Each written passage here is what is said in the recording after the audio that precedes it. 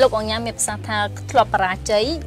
ដោយសារតែលោកអញ្ញាអត់ចេះរឿងគ្រប់គ្រងហិរញ្ញវត្ថុអត់ចេះរឿងគ្រប់គ្រងធនធានមនុស្សហើយវាមានតាមដំណាក់កាលសូមឲ្យចែករំលែកនៅបទពិសោធន៍20ឆ្នាំមកនេះតើប្រហែលឆ្នាំដំបូងជួបរឿងអីប្រហែលឆ្នាំបន្ទាប់ជួបរឿងអីហើយរហូតមកដល់20ឆ្នាំនេះតើវាមានគេហៅថាបែបផែនយ៉ាងណាចាខុសប្លែកគ្នាចាសូមជឿបាទអរគុណអាជីវកម្មដែលដួលរលំចាប់ពីឆ្នាំទី1ដល់ឆ្នាំទី5ឬក៏ទី3ដែលខ្ញុំមើលឃើញទៅហ្នឹងភាគច្រើនគឺអត់ចេះលក់ គាត់អត់កង្វះខាតការលក់ខ្វះខាតចែកទានការលក់ក្រុមហ៊ុនធំប៉ុណ្ណាក៏ដោយតើអត់មានការលក់កើតឡើងមកទេក្រុមហ៊ុននោះនឹងបរាជ័យអញ្ចឹងសូមក្បាច់គុណលោកអញ្ញាប្រជាប្រមាណក្បាច់មកជាមួយនឹងតិចនិចនៅក្នុងការលក់បាទខ្ញុំនឹងចែកម្លែកអឺស្របនឹងការលក់នេះសូមទន្ទឹមនេះក៏សូមជំនាញខាងទីផ្សារដែរព្រោះលក់នឹងទីផ្សារជាខាងដៃគូគ្នាបាទបាទអូខេអញ្ចឹងអាជីវកម្មដែលដួលរលំពីឆ្នាំទី1ដល់ឆ្នាំទី3ឬឆ្នាំទី5ដួលរលំដំបូងគេផុតគឺយើងមើលលើការលក់ គាត់អត់ចេះលក់ក្រុមហ៊ុនធំប៉ុណ្ណាក៏ដោយប្រើសម្ភារៈទំនើបប៉ុណ្ណាក៏ដោយអត់មានការលក់កើតឡើងមកនឹងបរាជ័យអញ្ចឹងការលក់នេះគឺជារឿងចំណុចសំខាន់ជាជីវចរសំខាន់បាទអញ្ចឹងបងបងប្អូនចង់ធ្វើអាជីវកម្មបងប្អូនត្រូវរៀនចេះលក់លក់គំនិតលក់យោបល់លក់ idea លក់អ្វីដែលយើងកំពុងតែមាននេះបាទអញ្ចឹងការលក់នោះគឺយើងត្រូវទីមួយបដោតថាការតការលក់គឺជាការដោះស្រាយបញ្ហាតែយើងអាចដោះស្រាយបញ្ហាមនុស្សបានកម្រិតណាទើបយើងលក់ឲ្យបានកម្រិតនោះមានថាយើងអាចដោះស្រាយបញ្ហាគេបានទេ បាទអញ្ចឹងការលក់គឺផ្ដោតលើអតិជនគោលដៅតើអតិជនគោលដៅជាអ្នកណាហេតុអីបានគេត្រូវទិញយើងសំណួរត្រូវសួរឯថាហេតុបានគេត្រូវទិញយើងទៅត្រូវប្រើប្រាស់សេវាកម្មយើងហេតុបានគេត្រូវទិញឬប្រើប្រាស់សេវាកម្មបាទហេតុអីបានអញ្ចឹងបាទអញ្ចឹងយើងត្រូវស្វែងរកអតិថិជនគោលដៅហើយនឹងតើផលិតផលយើងដោះស្រាយបញ្ហាមនុស្សបានដែរទេឧទាហរណ៍ដូចខ្ញុំបើកហាងមិញអញ្ចឹងបើអាចដោះស្រាយបញ្ហាមនុស្សបានកាន់តែច្រើនអតិថិជននឹងគ្រប់គ្រងកាន់តែខ្លាំងបាទចូលដល់ឆ្នាំទីផុតពីឆ្នាំទី3រហូតដល់ឆ្នាំទី5ក៏មានក្រុមហ៊ុនបរាជ័យដែរការគ្រប់គ្រងធនធានមនុស្ស ពីព្រោះអាចគាត់ចេះលក់ពីឆ្នាំទី1ឆ្នាំទី2ចេះលក់ប៉ុន្តែដល់ពេលដែលគាត់ចាប់ដើមរីកចម្រើនទៅអត់ចេះប្រើមនុស្សអត់ដឹងថាណាគួរប្រើអីបុគ្គលិករបៀបណាយើងគួរប្រើអីតើយើងគួរថែមមនុស្សរបៀបម៉េចយើងកង្វះខាតការប្រើគ្រប់គ្រងធនធានមនុស្សហើយអ្នកដឹកនាំនោះលោកណាអាចចែកវាយ៉ាងណាដែរឬក៏ពីរនេះវាពេលខ្លះត្រូវតែទន្ទឹមគ្នាពេលខ្លះទៅត្រូវតែដើរតួនាទីផ្សេងគ្នាបាទអរគុណបាទតាមពិតវាបងប្អូនគ្នាគ្រប់គ្រងហើយការដឹកនាំវាបងប្អូនគ្នាគ្រប់គ្រងដឹកនាំមានតែយើងធ្វើការបង្ហាញគាត់ ក្នុងការធ្វើបង្ហាញគាត់នៅយុទ្ធសាស្ត្រផ្សេងៗយើងបង្ហាញគាត់ឲ្យយើងនេះដឹកនាំយើងបង្ហាញគាត់មុនហើយគាត់ធ្វើនឹងធ្វើតាមយើងបាទហើយការគ្រប់គ្រងគឺយើងគ្រប់គ្រងហើយយើងបញ្ជាគាត់អញ្ចឹងខ្ញុំចង់និយាយថាយុទ្ធសាស្ត្រនៃការគ្រប់គ្រងនេះគឺយើងត្រូវចេះមើលប្រភេទធនធានមនុស្សពីព្រោះមនុស្សជុំវិញខ្លួនយើងហ្នឹងយើងអាចចាប់មនុស្សជុំវិញខ្លួនយើងធ្វើជាស្តុកដូចស្តុកបានអ្នកខ្លះគាត់អត់អាចអត់មានកំណត់ទេតែគាត់មានកម្លាំងគាត់អាចជួយយើងបាននៅពេលយើងត្រូវការប្រើប្រាស់កម្លាំងគាត់អាចជួយយើងបាន ប្រភេទមួយប្រភេទទៀតគាត់មានកម្លាំងទេតែគាត់មានកំណត់បើយើងត្រូវការយោបល់យើងអាចទៅជួបគាត់បានគាត់អាចឲ្យយោបល់យើងល្អល្អបានតែកម្លាំងអត់មានទេប្រភេទទៀតកំណត់ក៏អត់កម្លាំងក៏អត់តែគាត់មានធុថវិកាបាទត្រូវការគំនិតកម្លាំងក៏មានតែបើត្រូវការថវិកាអីអូខេអាចគាត់អាចជួយបានមកប្រភេទទៀតគំនិតក៏អត់កម្លាំងក៏អត់ថវិកាក៏អត់តែគាត់អាចជួយ support តំណែងហ្នឹងគាត់អាចជួយ support តំណែងរបស់យើងអាចថាតំណែងរបស់យើងដែលយើងលក់ហ្នឹងគាត់អេខ្ញុំគិតអត់ចេះគិតដឹងគិតមិនទេ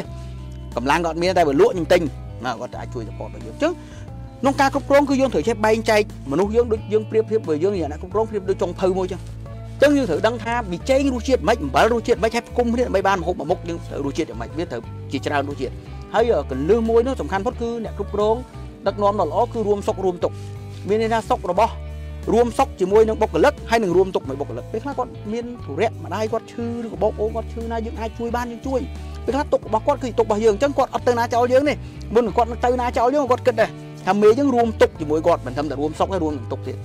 បាទអរគុណលោកអញ្ញាឃើញថាលោកអញ្ញាក៏ធ្លាប់បរាជ័យម្ដងបរាជ័យដល់បាត់ដូចបានជំរាបពីវគ្គមុនអញ្ចឹងដល់ឆ្នាំ2003ចាប៉ុន្តែជាកម្លាំងចិត្តជាការរៀនសូត្រពីខ្លួនឯងបានលោកអញ្ញាមានមកដល់ថ្ងៃនេះហើយបានជួយជាយោបល់ជាគំនិតហើយក៏ដូចជាមានទូនាទីជាគ្រូបណ្ដុះបណ្ដាលនៅផ្នែកហិរញ្ញវត្ថុថែមទៀតអឺមក ដល់កលៈទេសៈ COVID-19 នេះមានអាជីវកម្មជាច្រើនបានជាប់គាំងហើយអាជីវករមួយចំនួនគាត់សឹងតែរោគចិត្តហើយយើងនិយាយដោយត្រង់អញ្ចឹងណាចាអញ្ចឹងអាចលោកញ៉ាំមានគិតថាជាដំណោះស្រាយបច្ចុប្បន្ននេះហើយតើគាត់គួរតែរៀបចំយុទ្ធសាស្ត្រយ៉ាងណាដើម្បីពង្រឹងហើយកម្ពុជាយើងនៅចំណុចណាដែរនៅ COVID-19 នេះដែលលោកញ៉ាំធ្វើការផ្ទាល់ជាមួយនឹងបរទេសជាច្រើននៅខាងក្រៅណាបាទហើយនៅក្នុងដំណាក់កាលនេះ COVID នេះគឺវាជាផលប៉ះពាល់មួយទូទាំងសកលលោកមិនមែនតែកម្ពុជាយើងទេ ចឹងក្នុងនាមយើងជាអ្នកជំនួញយើងទទួលស្គាល់ការពិតថាផលប៉ះពាល់ឧទាហរណ៍ថាមេឃភ្លៀងខ្លាំងណាស់ចឹងយើងមិនអាចខាត់មេឃមកឲ្យភ្លៀងបានតែយើងគួរតែជ្រកភ្លៀងឬក៏ចង់ចេញទៅក្រៅគួរពាក់អាវភ្លៀងចឹងបកឲ្យដូចអាជីវកម្មយើងចឹងគឺជាការជាប់គាំងទាំងអស់តើយើងរក្សាស្ថិរភាពអាជីវកម្មយើងរបៀបម៉េចបានយើងអាចកាត់បន្ថយចំណាយបានទេយើងអាចមើលមើលកន្លែងណាដែលមិនចាំបាច់ចំណាយឬក៏យើងអាចផ្លាស់ប្ដូរពីយុទ្ធសាស្ត្ររបស់យើងទៅជារក្សាអាជីវកម្មយើងដោយយើងអាចប្រើ ផលិតផលណាផ្សេងដើម្បីមកជំនួសផលិតផលចាស់បានទេពីព្រោះដំណាក់កាលនេះគឺជាដំណាក់កាលមួយដែលមានការជាប់គាំងជាសកលដូច្នេះអាជីវកម្មនីមួយនីមួយរួមទាំងខ្ញុំផងដែរអាជីវកម្មនីមួយនីមួយរបស់យើងហ្នឹងគឺយើងត្រូវតែបដោតទៅលើវិសាស្ត្រឈរជើងឲ្យបានហ្នឹងពីព្រោះមកដំណាក់កាលនេះមិនទាន់ជាដំណាក់កាលពង្រីកទេតែជាដំណាក់កាលបញ្ឈរជើងឲ្យបានហ្នឹងអញ្ចឹងយើងមើលតាំងពីអរញ្ញធុរបស់យើងតើយើងមានអីខ្លះយើងអាចកាត់បន្ថយបានអរញ្ញធុកុំឲ្យមានការទីពីរយើងមើលតាំងពីតំណែងរបស់យើងតើតំណែងរបស់យើងឆ្លើយតបនឹងទីផ្សារដែលគួរតម្រូវការបច្ចុប្បន្នដែរឬទេបា ទទី3យើងមើលទៅលើរយៈពេលតើយើងអាចគ្រប់គ្រងបានរយៈពេលប៉ុណ្ណាបន្តទៀតដូច្នេះខ្ញុំសូមចែកម្លែកដល់បងប្អូនដែលកំពុងតែមានការជាប់គាំងនោះសូមបងប្អូនធ្វើការមើលឡើងវិញនៅអាជីវកម្មរបស់យើងហើយខ្ញុំជឿជាក់ថាពេលដែលកូវីដផុតទៅសេដ្ឋកិច្ចយើងងើបឡើងវិញពីព្រោះនេះគឺជាបញ្ហាសកលវាមិនមែនគ្រាន់តែជាបញ្ហាមួយដែលក្នុងប្រទេសយើងមានសង្គ្រាមឬប្រទេសណាមួយមានសង្គ្រាមដែលជាបញ្ហារបស់យើងជាបញ្ហាសកលអញ្ចឹងមនុស្សទាំងអស់គឺត្រៀបចំខ្លួនក្នុងការវិនិយោគទាំងអស់គ្នាប៉ុន្តែអត់មានឱកាសក្នុងការវិនិយោគអញ្ចឹងបើអាជីវកម្មណាឈរជើងបានបន្ទាប់ពីកូវីដនេះទៅគឺនឹងមានភាពរីករូតលាស់ចាស់ចង់យ៉ាងខ្លាំងដោយតាមរយៈការរីកការវិនិយោគនឹងមានការរីកដុះដាលឡើងវិញជាប្រធានសមាគមជាពាណិជ្ជករកម្ពុជាដែលមានសមាជិកជាង100នាក់លោកញ៉ាឃើញថាឱកាសបច្ចុប្បន្ននេះតើគេហៅថាអាជីវករក្នុងស្រុកចាស់មានឱកាសនៅក្នុងការធ្វើឲ្យការលើកស្ទួយផលិតផលជាតិកម្រិតណាស់ដែរក្នុងនាមលោកណាជាប្រធានហើយជាគេហៅថា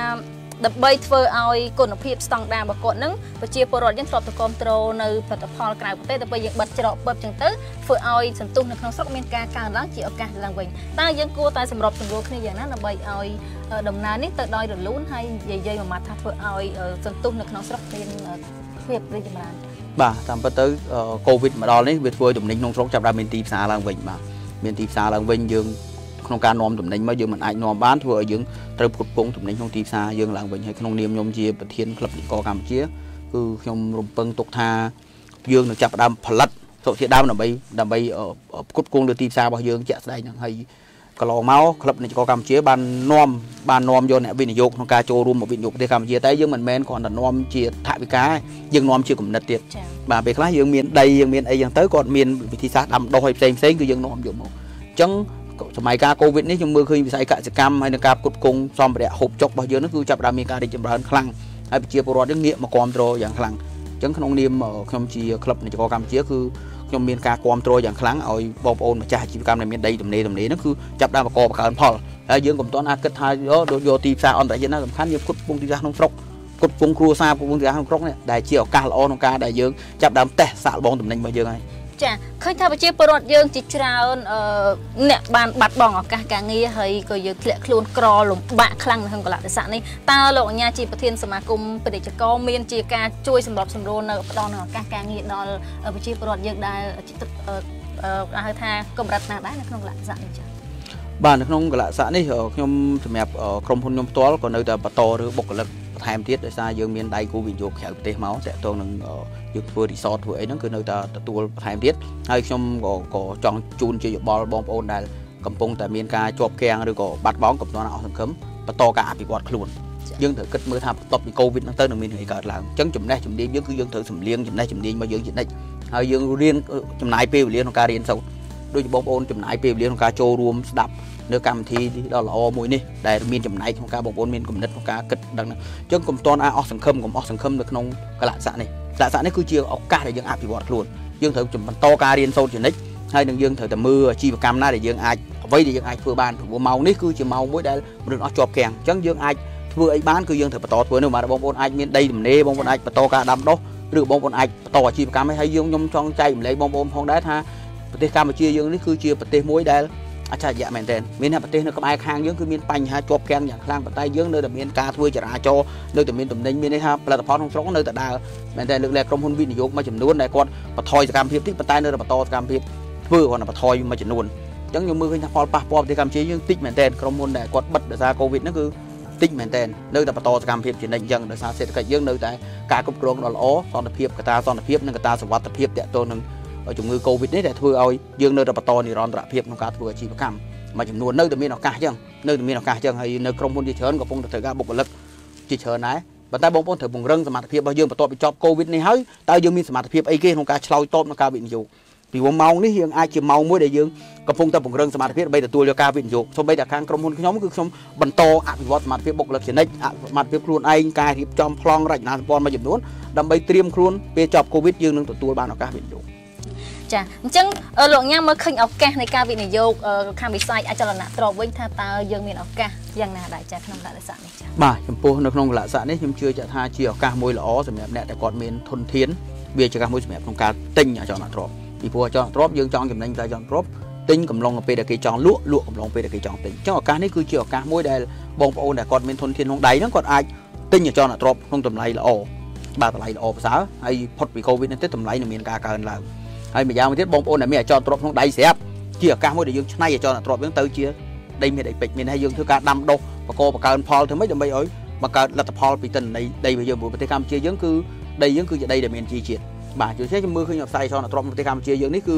អ្វីបិទតែមានការមានកូវីដកើតឡើងមកមែនប៉ុន្តែក្នុងការសាងសង់យើងមើលដូចម្ដុំចកាមូនម្ដុំអីហ្នឹងម្ដុំកោះពេជ្រគឺបន្តការសាងសង់ជានិច្ចមានន័យថាបន្តការសាងសង់ជានិច្ចហើយចនទ្របមួយចំនួនរីសតដូចនៅរីសតមណ្ឌលគិរីគឺបន្តការ សាងសង់ជានិច្ចអញ្ចឹងខ្ញុំមើលឃើញថានេះគឺជាសញ្ញាមួយបញ្ជាក់ឲ្យឃើញថាវាជាការជាប់គាំងសកលប៉ុន្តែនៅក្នុងប្រទេសកម្ពុជាគឺតែងតែមានការអភិវឌ្ឍជានិច្ចអញ្ចឹងបងប្អូនដែលគាត់មានធនធានឱកាសនេះគឺជាឱកាសល្អក្នុងការទិញក្នុងការចាប់យកឱកាសក្នុងការទិញអញ្ចឹងបងប្អូនមួយចំនួនគាត់ជាប់គាំងយើងអាចមានថវិកាយើងទិញបានតម្លៃល្អហើយផុតពីកូវីដនេះទៅយើងនឹងមានការរីកចម្រើនបានខ្លាំងហើយជាពិសេសបងប្អូនដែលមានធនធានបងប្អូនមានដីផ្ទាល់ខ្លួនបងប្អូនធនធានបងប្អូនអាចអភិវឌ្ឍជាតំបន់ទេសចរណាមួយ បាទតំបន់ទេសចរណាមួយដើម្បីឲ្យដីយើងកាន់តែមានតម្លៃដើម្បីទទួលយកអ្នកវិនិយោគឬក៏ត្រៀមខ្លួនក្នុងការទទួលយកភ្ញៀវទេសចរផ្សេងផ្សេងព្រោះនេះឱកាសល្អមែនទែនឱកាសល្អនេះលោកអញ្ញាសឡឹងឃើញថាប្រហែលខែក្រោយហើយបើសិនជាកូវីដនៅតែបន្តដល់ចុងឆ្នាំឬក៏អីតើតើក្រតិស័កហ្នឹងវាយ៉ាងម៉េចបន្តទៀតដែរចា៎បាទចំពោះបើសិនបើកូវីដនៅតែបន្តដល់ចុងឆ្នាំវាជាឱកាសល្អសម្រាប់អ្នកទិញគាត់នៅមានឱកាសក្នុងការទិញពីព្រោះឥឡូវនេះគឺសម្រាប់ខ្ញុំគឺក្រុមហ៊ុនយើងគឺយើងវិនិយោគការទិញយើងពីច្រើនគឺយើងផ្ដោតលើការទិញបន្ថែម ពីព្រោះឱកាសនេះគឺជាឱកាសមួយដែលជាឱកាសល្អក្នុងការទិញពីព្រោះពេលដែលកូវីដចប់ហើយយើងមិនអាចប្រជែងឈ្នះដៃគូក្រៅប្រទេសទេដៃគូក្រៅប្រទេសនឹងមកចាប់ដើមចូលមកទិញចូលមកអីរបស់យើងនោះគឺយើងពិបាកក្នុងការប្រកួតប្រជែងនេះដូចមុននៅតំបន់ពាណិជ្ជកម្មមួយចំនួនគឺពិបាកក្នុងការប្រកួតប្រជែងអញ្ចឹងឱកាសនេះខ្ញុំជឿជាក់ថាវាជាឱកាសល្អក្នុងការដែលយើងទិញក្នុងការដែលយើងចាប់ដើមប្រមូលយកចន់អត់ទ្របយកមកដើម្បីការអភិវឌ្ឍអ្នកអាជីវករជាច្រើនដែលគាត់មានលុយនៅក្នុងដៃគាត់ខ្លាចយកកញ្ចប់លុយគាត់យកទៅបោះទៅខាតលោកញ៉ាមានជា គេហៅថាតិចនិចយ៉ាងណាដែលមើលទៅថាទិញហើយគឺដឹងតែអត់ខាតគឺដឹងតែចំណេញហើយអាចថាអឺចាំមានជាគេហៅថាភ្នែកមុតស្រួចយ៉ាងណាខុសពីគេចឹងគាត់បាទទី1ប្រទេសកម្ពុជាយើងជាប្រទេសដែលមានការអភិវឌ្ឍគ្រប់ប្រភេទកំពុងតែអភិវឌ្ឍនិងបន្តការអភិវឌ្ឍបាទទី2អចលនទ្រព្យតាំងពីខ្ញុំរកស៊ីផ្សារចលនទ្រព្យមិនដែលឃើញអចលនទ្រព្យមានតម្លៃចុះទេបាទមានទីផ្សារវាអត់ទាន់ទៅដល់ប៉ុន្តែមានការកើនឡើងរហូត ទី3នៅពេលដែលយើងអ្នកមានអចលនទ្រព្យនឹងយើងបើសិនបើយើងចេះធ្វើការអភិវឌ្ឍតម្លៃនឹងការកើនឡើងមកយើងគ្រាន់តែដាំទរេនដាំដូងឬក៏យើងដាំអ្វីឬក៏យើងអភិវឌ្ឍទៅជាតំបន់ទេសចរគឺមានការកើនឡើងអញ្ចឹងអ្វីដែលខ្ញុំរំពឹងឃើញនោះដោយសារប្រទេសកម្ពុជាយើងជាប្រទេសមួយដែលមានកត្តាសេដ្ឋកិច្ចកំណើនកើនឡើងខ្ពស់អញ្ចឹងខ្ញុំជឿជាក់ថាវិស័យចលនាទ្រព្យនៅប្រទេសកម្ពុជាឲ្យតែយើងទិញចំតំបន់អភិវឌ្ឍជាពិសេសគឺយើងវិនិយោគចំតំបន់អភិវឌ្ឍវិនិយោគចំដីដែលស្របច្បាប់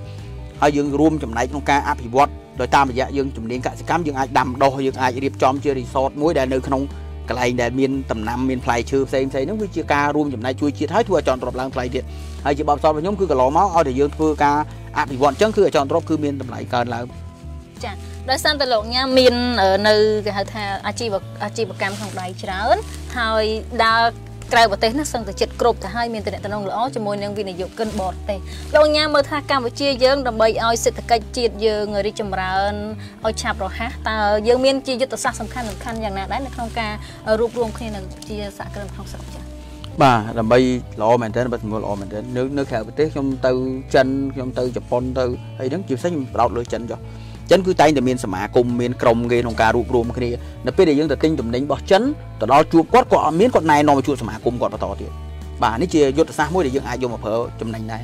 មូលហេតុនេះដែលខ្ញុំបង្កើតក្លឹបនយោបាយកម្ពុជាដើម្បីរួមចំណែកជាកម្លាំងមួយក្នុងការចែករំលែកគ្នាហើយខ្ញុំគិតថាដើម្បីឲ្យយើងមានការរីកចម្រើនបន្តទៅមុខទៀតក្នុងនាមយើងជាម្ចាស់ចំនួនហ្នឹងគឺយើងធ្វើការប្រមូលផ្ដុំគ្នាចែករំលែកបទពិសោធន៍គ្នាទៅវិញទៅមក កាលណាយើងមានកម្លាំងក្នុងគ្រប់គ្រាន់ក្នុងការធ្វើយើងធ្វើទៅបានកាន់តែខ្លាំងអញ្ចឹងយើងធ្វើការប្រមូលផ្ដុំធ្វើការរៀបចំជារចនាសម្ព័ន្ធមួយក្នុងការធ្វើអាជីវកម្មរួមគ្នាពីព្រោះអីបើកាលណាយើងបែកបាក់គ្នាយើងធ្វើអាជីវកម្មមួយយើងអត់មានតំណែងតំណងគ្នាទេយើងអត់ដឹងថាទីផ្សារត្រូវការអីទេបាទអញ្ចឹងកន្លែងនេះខ្ញុំក្នុងនាមខ្ញុំជាក្លឹបធានក្លឹបវិទ្យាកម្ពុជា ខ្ញុំចង់ខ្ញុំសូមសំណូមពរបងប្អូនដែលមានអាជីវកម្មទាំងអស់ហ្នឹងគឺធ្វើការចែកម្លែកគ្នាទៅវិញមកហើយសម្រាប់ខ្ញុំខ្ញុំបើកបេះដូងការចែកម្លែកបងប្អូនអាចចូលរួមជាមួយកម្មវិធីចែកម្លែករបស់ខ្ញុំទៅខ្ញុំនឹងធ្វើការចែកម្លែកបទពិសោធន៍ផ្សេងផ្សេងនេះគឺជាចំណុចសំខាន់ មួយវិញទៀតតើយើងមានគំរូអាជីវកម្មយ៉ាងណាបើសិនជា COVID-19 ហ្នឹងវាឆាប់រលត់ទៅវិញថា3ខែក្រោយឬក៏ចុងឆ្នាំហ្នឹងវាបានបសាស្រាក់ស្រានទៅវិញតើយើងមានជាគំរូអាជីវកម្មបានព្រោះអាជីវកម្មវាមានបែបផែននៃការធ្វើហ្នឹងគឺខុសៗគ្នាអញ្ចឹងលោកញ៉ាគាត់ច្បាច់ជារួមវាមកមិនវាមានរូបមន្តស្តង់ដារមួយយ៉ាងណាចា៎បាទអរគុណតាមពិតអាជីវកម្មវាមានច្រើនប្រភេទវាអាជីវកម្មមួយយ៉ាងវាអ្នកលក់អស់លក់ធ្យូងក៏អាជីវកម្មលក់គ្រឿងក្អូបក៏អាជីវកម្មអឺអ្នកលក់ទំនិញនៅផ្សារក៏អាជីវកម្មអ្នកលក់ដីក៏អាជីវកម្ម គ្រប់សពបាទគ្រប់សពបែបយ៉ាងអញ្ចឹងខ្ញុំចែកជាអនុសាសន៍ចេះវិញចំពោះបងប្អូនដែលយើងអាជីវកម្មយើងមួយយើងការសម័យមើលតើនៅពេលដែលកូវីដចប់ទៅតើអាជីវកម្មយើងទៅជាកម្រិតណាយើងគួរត្រៀមខ្លួនទៅតាមប្រភេទបែបផែនអាជីវកម្មរបស់យើងរៀងខ្លួនឧទាហរណ៍ថាវិស័យវិនិយោគអញ្ចឹងក្រោយពេលកូវីដចប់ទៅអញ្ចឹងភ្ញៀវគាត់អាចនឹងចាប់ដើមអ្នកដែលគាត់មានវិនិយោគបរទេសហ្នឹងគឺគាត់ចាប់ដើមមកវិនិយោគឡើងវិញអញ្ចឹងវិស័យសំណង់នឹងចាប់ដើមបន្តកើនឡើងអញ្ចឹងទៅបាទអញ្ចឹងបន្ទាប់មកវិស័យភោជនីយដ្ឋានក៏ចាប់ដើមកើនឡើងអញ្ចឹងទៅ ចឹងឲ្យសូមឲ្យបងប្អូនធ្វើការបដោតទៅលើអាជីវកម្មរបស់យើងមួយមួយថាតើបន្ទាប់ពីចប់កូវីដទៅតើអាជីវកម្មយើងនឹងប្រែប្រួលយ៉ាងណាព្រោះអាជីវកម្មជារយៈផ្សេងផ្សេងគ្នា field ផ្សេងផ្សេងគ្នាអញ្ចឹងមានតែយើងធ្វើការបដោតវិញទេធ្វើការសម័យមើលថាអាជីវកម្មរបស់យើងបងប្អូនត្រូវមើល trend មាននិន្នាការនិន្នាការពាណិជ្ជកម្មបាទនិន្នាការពាណិជ្ជកម្មតើពាណិជ្ជកម្មរបស់យើងនឹងដើរដល់កម្រិតណាពីព្រោះឥឡូវនេះមនុស្សផ្ដោតលើសុខភាពឃើញឥឡូវបើកន្លែងហាត់ប្រាណមនុស្សទៅហាត់ប្រាណមើលផ្ដោតលើសុខភាពមនុស្សផ្ដោតលើកន្លែងកំសាន្តរបៀបជាទេសចរបាទមនុស្សផ្ដោតលើអាហារសុខភាព មនុស្សផ្ដោតទៅលើការលេងកីឡាមនុស្សផ្ដោតទៅលើអីផ្សេងផ្សេងហ្នឹងអញ្ចឹងអាជីវកម្មរបស់យើងនីមួយនីមួយតើឆ្លើយតបនឹងការតម្រូវការប្រតិជនដែរទេបន្ទាប់ពីចប់កូវីដទៅតើកូវីដនឹងរលត់ឧទាហរណ៍ថាឥឡូវឧទាហរណ៍បើកូវីដបើចប់ស្អែកឬក៏ខែក្រោយតើអាជីអាជីវកម្មហ្នឹងទៅជាយ៉ាងណាឧទាហរណ៍បើយើងអ្នកលក់ម៉ាស់អញ្ចឹងយើងដឹងថាវាកូវីដត្រូវបានបញ្ចប់ម៉ាស់របស់យើងច្បាស់ជាមិនសូវមានអ្នកត្រូវការអាកុលច្បាស់ជាមិនសូវមានត្រូវការវាមានប្រភេទអាជីវកម្មខ្លះដែលកូវីដនឹងចប់ចប់តាមកូវីដអាជីវកម្មខ្លះពេលដែលកូវីដចប់ នឹងមានការរីកចម្រើននិងមានតម្រូវការកើនឡើងកាន់តែខ្ពស់បាទអញ្ចឹងខ្ញុំជារួមគឺខ្ញុំសូមឲ្យបងប្អូនធ្វើការបដោតទៅលើអាជីវកម្មរបស់យើងសម័យទៅមើលនិន្នាការនៃអាជីវកម្មរបស់យើងតើនិន្នាការរបស់អាជីវកម្មរបស់យើងនឹងដើរទៅពេលដែលចប់កូវីដហើយនិន្នាការរបស់យើងទៅជាយ៉ាងណាខ្ញុំជឿថាមានតែម្ចាស់អាជីវកម្មមួយមួយដែលគាត់វិភាគកន្លែងហ្នឹងគាត់អាចដឹងពីអាជីវកម្មរបស់គាត់ជារួមនីមួយនីមួយប៉ុន្តែបើបដោតជារួមសូមបងប្អូនធ្វើការសម័យមើលថាតើនិន្នាការ trend of business និន្នាការរបស់អាជីវកម្មរបស់យើង នឹងទៅមុខឬក៏នឹងថយក្រោយនៅពេលដែលចប់កូវីដហ្នឹងតើតម្រូវការអីកើតឡើងខ្លះតើមានឱកាសអីខ្លះតើមានការគម្រាមកំហែងអីខ្លះតើមានចំណុចខ្លាំងកន្លែងណាចំណុចខ្សោយកន្លែងណាយើងទៅវិភាគ4ហ្នឹងបាទចាអរគុណលោកញ៉ាឃើញថាតើលោកញ៉ាសម័យមើលថាមិនបាច់យើងនិយាយកូវីដទេចាព្រោះថា20ឆ្នាំនៅក្នុងជំនួយហ្នឹងគឺហែលហែលគ្រប់សពជាមួយឧបសគ្គហើយតាំងពីរឿងហិរញ្ញវត្ថុធ្លាក់ចុះឆ្នាំ2008អីហ្នឹងលោកញ៉ាសម័យឃើញថាតើ 10ឆ្នាំឬក៏5ឆ្នាំខាងមុខកម្ពុជាយើងបើសិនយើងប្រៀបធៀបអាស៊ានណាយើងនៅកម្រិតណាហើយក្នុងនាមជាសមាគមអ្នកពាណិជ្ជករកម្ពុជាតើលោកញ៉ាពង្រឹងក្រមយ៉ាងណាដើម្បីជាការជួយដល់សេដ្ឋកិច្ចជាតិយើងចា៎បាទខ្ញុំល្អមែនទេបាទតាមពិតខ្ញុំក៏បានមើលនិន្នាការ5ឆ្នាំទៅមុខទៀតដែរខ្ញុំគិតមើលឃើញថា5ឆ្នាំទៅមុខទៀតប្រទេសកម្ពុជានឹងមានការរីកចម្រើនខ្លាំងតាមរយៈ ឥឡូវនេះសូម្បីតែផ្លូវមួយចំនួនដែលយើងខេតមួយចំនួនដែលយើងខានទៅយូរនោះផ្លូវខ្វាត់ខ្វែងយើងក្តាប់អត់បានផងខេតហើយលីងពីខេតមួយទៅខេតមួយគឺគឺមានការភ្ជាប់បណ្ដាញអ្នកកាលណាមានផ្លូវល្អមនុស្សធ្វើចរាចរណ៍បានល្អអាជីវកម្មក៏វាងាយស្រួលធ្វើតាមនឹងដែរអញ្ចឹងខ្ញុំមើលឃើញថា5ឆ្នាំទៅមុខទៀតប្រទេសកម្ពុជាគឺជាឱកាសក្នុងការជាឱកាសមួយដែលធ្វើឲ្យសេដ្ឋកិច្ចយើងរីកចម្រើនតាមរយៈយើងមានផ្លូវយើងមានហេដ្ឋារចនាសម្ព័ន្ធយើងល្អល្អ ហើយបើយើងប្រៀបធៀបតម្លៃទីផ្សារនៅក្នុងប្រទេសកម្ពុជានិងទីផ្សារក្រៅប្រទេសផ្សេងផ្សេងជាប់យើងយើងនៅតែមានតម្លៃល្អយើងមានឱកាសនៃការវិនិយោគច្រើនបាទហើយជារួមក្លឹបនីកកម្ពុជានឹងព្យាយាមប្រមូលផ្ដុំសមាជិករបស់យើងហ្នឹងគឺធ្វើការចូលរួមតាំងពីពណ៌កន្លងមកយើងមានការតាំងចូលរួមតាំងពីពណ៌យើងមួយឆ្នាំខ្ញុំបាននាំក្រុមពាណិជ្ជកររបស់យើងទៅក្រៅប្រទេសពីរដងក្នុងការចូលរួមតាំងពីពណ៌ហើយក៏មានការនាំអ្នកវិនិយោគក្រៅប្រទេសក្នុងការមកមើលពីពណ៌របស់មកមើលក្នុងស្រុកយើងដែរមានអ្នកគូផ្គងដែរអញ្ចឹងកន្លែងនេះខ្ញុំមើលឃើញថា5ឆ្នាំទៅមុខទៀត មានឱកាសជាច្រើនពីព្រោះកូវីដនេះគឺជារឿងជាសកលខ្ញុំបានបញ្ជាក់ដដែលដែលវាជាសកលអញ្ចឹងបើសិនបើកូវីដត្រូវបានរលត់បន្តទៅមុខ5ឆ្នាំទៀតប្រទេសកម្ពុជាគឺពោពេញទៅដោយឱកាសទី1គឺយើងមានធនធានធម្មជាតិយើងល្អបាទទី2អចលនទ្រព្យយើងមានតម្លៃល្អទី3កត្តាសេដ្ឋកិច្ចនយោបាយរបស់យើងគឺកើនឡើងជានិច្ចបាទទី4យើងមានសមុទ្រយើងមានដែលជាអំណោយផលក្នុងការវិនិយោគបាទ